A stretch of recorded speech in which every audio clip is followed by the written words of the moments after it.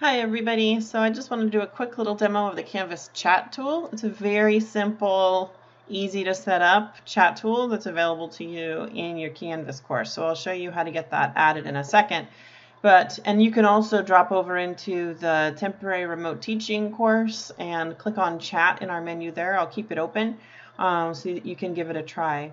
This is something that you could tell your students, hey, let's all click into chat at a particular time and um, we could do a text chat this way. So it's text only, um, nothing fancy, no video or microphone or anything here, just texting um, and all in this one space. So you can see that it also maintains a history of all the messaging that's been um, listed, that's been added here into the text chat.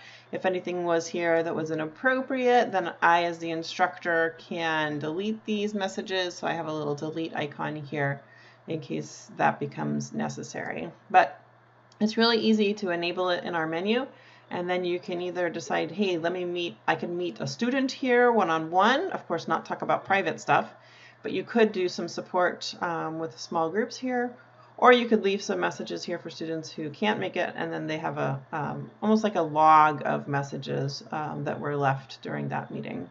So to turn that on, you uh, go over to your settings link, and then you're going to go to course navigation, sorry, navigation, and then make sure that chat is on the top list. So you'll likely have to find it in the bottom list and then drag and drop it all the way to the top of this list.